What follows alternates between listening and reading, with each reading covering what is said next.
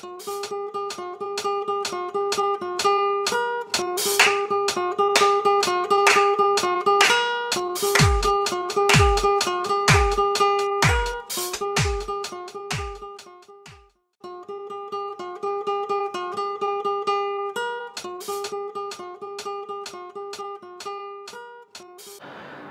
I find no limits in my creative process. It can be a little painting, a little print, or it can be a hundred feet long mural.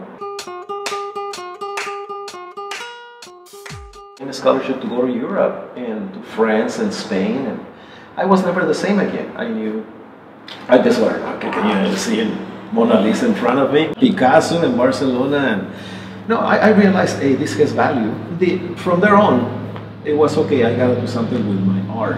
I just put a little beret and I'm an artist. It's a beautiful way to make a living as an artist. That's all I do, art. Teaching, expressing, helping, organizing, and, and seeing my reflection in my kids. Growing up in a barrio where there was violence, uh, growing up in the border, uh, dealing with so many things that eventually you learn not to be afraid of anything anymore. There's no fear. I mean, just just let it happen. And actually, I found very holistic reasons to be in peace with myself and pass that peace to everything. So when I knew that, I like to pass that peace to the kids.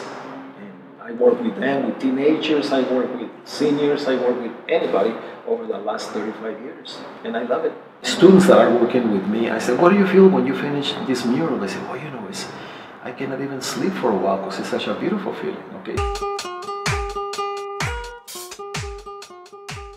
They say, but your murals, some of my murals are very powerful. Some of them are very expressive. Maybe I'm trying to say something about politics, about immigration, and, and it comes out. I said, well, that's I express myself. I don't need to, I don't need to talk. The artist feels very intimidated when the ideas are not coming.